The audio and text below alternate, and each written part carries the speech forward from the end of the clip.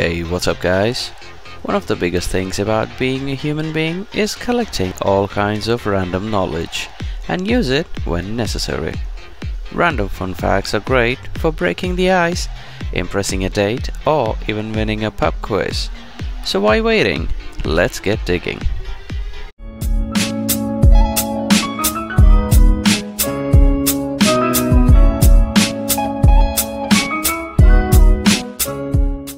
In January of 2017, a 100 foot asteroid nicknamed AG13 passed by our home planet.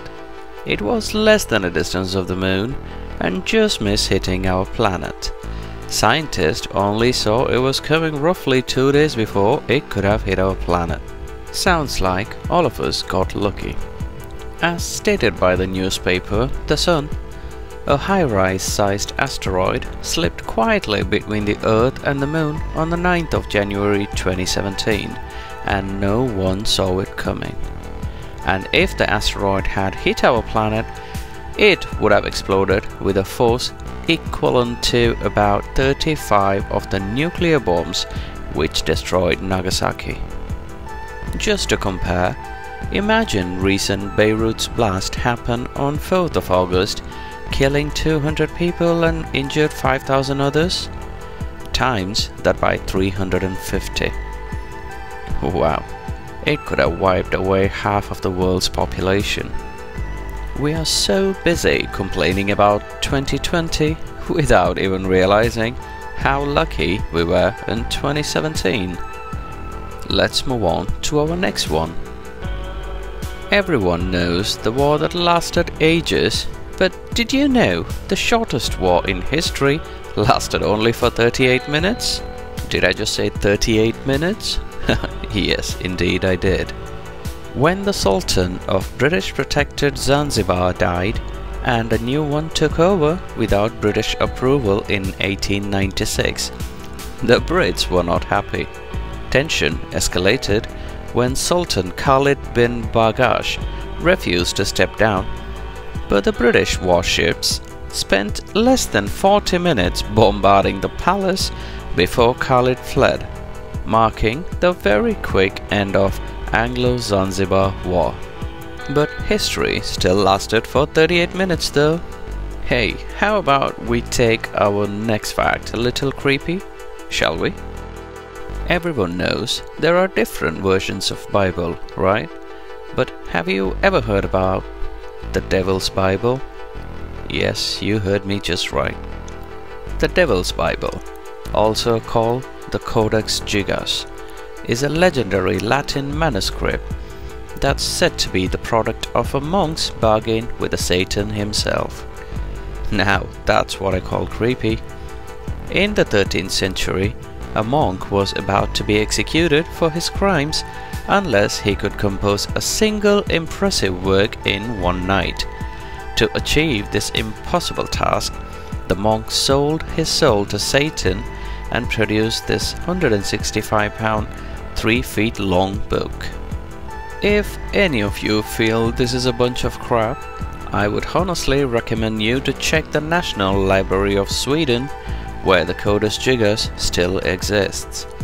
The Devil's Bible is 36 inches tall, 20 inches wide, and 8.7 inches thick. It contains 310 pages made from vellum from 160 donkeys.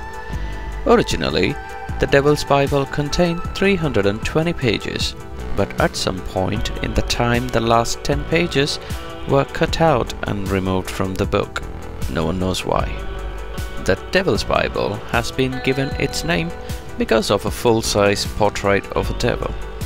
Portraits of the devil were common during the Middle Ages, but this particular portrait is unique. Here, the devil is portrayed alone on the page. The image is very big, 19 inches tall. There are several myths surrounding the creation of the Devil's Bible, and they all involve the devil. As I mentioned earlier, one of the famous myths is that the scribe traded his soul to the Prince of Darkness so that he could complete the book in one night. As someone said, human beings are capable of doing unpredictable things. To make our next fact more interesting, what if I say the World War II could have been prevented not once but twice? You don't believe that, right? I was shocked when I was doing my research, just as you are right now. As most of you know how the World War II had begun, right? If you don't, here is a quick glance. In 1933, when the German people voted for a great leader named Adolf Hitler, he promised to make his country great again. The Second World War was started by Germany in an unprovoked attack on Poland. According to History.com, on September 1, 1939, Hitler invaded Poland from the west. Two days later, France and Britain declared war on Germany, beginning World War II. Okay, let's not get distracted. So, how could the war have been prevented? Hitler was saved not once but twice by two good souls who wasn't aware of their consequences. According to Factslides, Hitler was saved from drowning by a priest when he was 4 years old. But Hitler never admitted to the near drowning accident in later life. But a small cutting from an 1894 newspaper was found how a boy of 4 year old was saved from drowning. This confirms the story told by priest Max Tremmel of how his predecessor Johann Kuehberger had rescued the terrified Hitler. well, if only the priest knew what he was doing. In another instance, and this happened during World War I, Henry Tandy, a highly decorated British private, claims to have encountered an enemy soldier wounded who did not even attempt to raise his own rifle during World War I.